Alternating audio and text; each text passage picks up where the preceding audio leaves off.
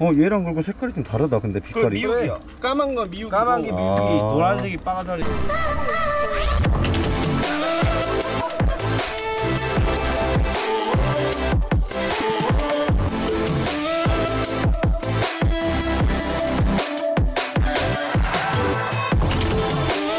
자 오늘의 컨텐츠 민물고기 찾기입니다.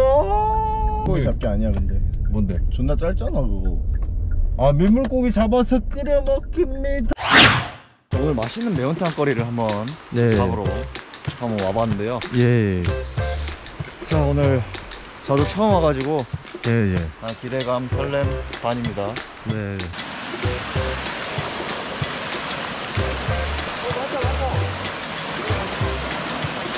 자 열심히 한번 해보고 있는데요 자 하나 던졌습니다 던졌습니다 미육이랑 빠가사리. 오 좋다 이거 오케이. 존나 맛있어 아, 오. 보고 보고. 와 이거 존나 맛있는 건데 와 아무것도 안 나온다고 이거. 빠가 빠가 세 마리?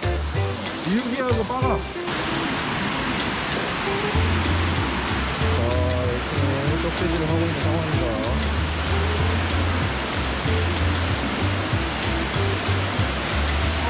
자 뭐가 나왔나요? 한 마리. 미육이 미육이. 살짝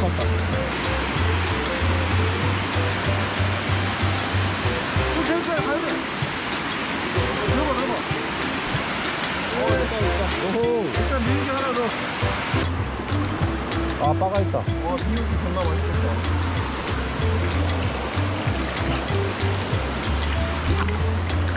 살려라 그래 방생 오!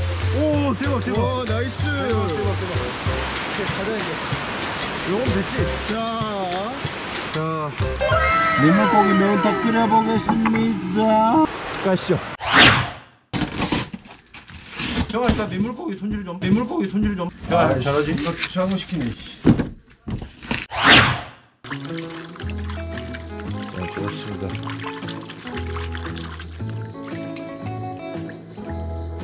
자, 여기서 민물고기 손질이란 어, 별거 없습니다. 어, 민물고기의 내장을 어, 따내주는 일을 의미하는데요. 칼로 배를 갈라서 안에 있는 것들을 싹 끄집어내주면 됩니다. 참 쉽다, 그죠?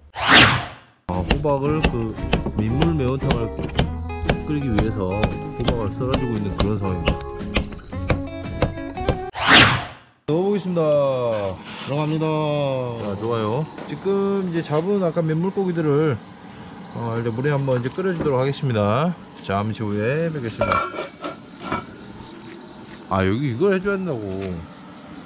다시 잠시 후에 해보도록 하겠습니다. 자, 매운탕에 다대기를 넣어 보겠습니다. 아, 여기서 잠깐 다대기란 무엇이냐? 쉽게 말씀드리면 저희가 된장찌개를 끓일 때 된장을 넣죠.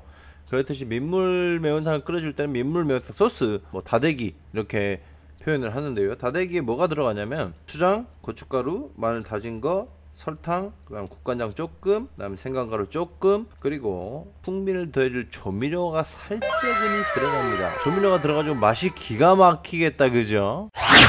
오 좋습니다 자, 매운탕이 다 끓여졌을 때쯤 어, 방아님과 전피를 마지막으로 넣어줍니다. 구독, 좋아요. 매운탕, 좋아요.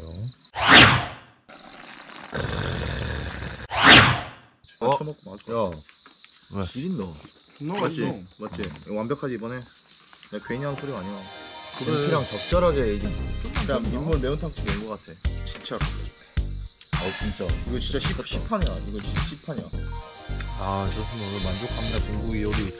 오늘 컨텐츠 성공입니다. 좋아요. 특유의 딱 그 생선 비린 게 좀 살짝 살짝 있는데 싫지 않는. 어 그게 딱 잘 잘 맞아. 아, 오늘 성공적입니다. 성공적. 아 나 솔직히 매운탕 나 실패각 생각해 진짜 과장 하나도 안 하고 음식점에서 먹는 거보다 더 맛있는 자 오늘 크레이스 케이스 이렇게 마무리합니다. 어, 다음 시간에 좀 더 재밌는 컨텐츠로 찾아뵙, 찾아뵙도록 하겠습니다. 자 손 한번 들시고 다음 시간에 만나요. 빠이루